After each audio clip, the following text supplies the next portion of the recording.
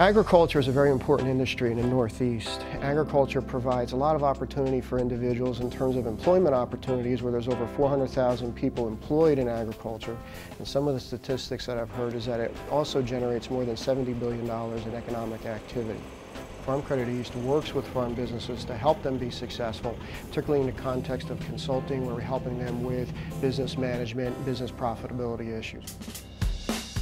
Farm Credit East Business Consulting Program is an unbiased, objective advice type program. All that we're selling is our time and our expertise in working with farm families. Most of us have literally worked with thousands of farm families across the kitchen table trying to resolve issues for the farm. Whether it's a business planning issue, estate planning, intergenerational transfer, one of the key things that we'll do is look at the financials over, say, a four or five year period so we can kind of assess the trends in the business and then take that information and extrapolate into a plan that they can use. We not only put the plan in place, but then we help put the monitoring system in place too so the business owner has some real practical advice to help make some decisions about the direction of the business. Strategic planning is different than business planning.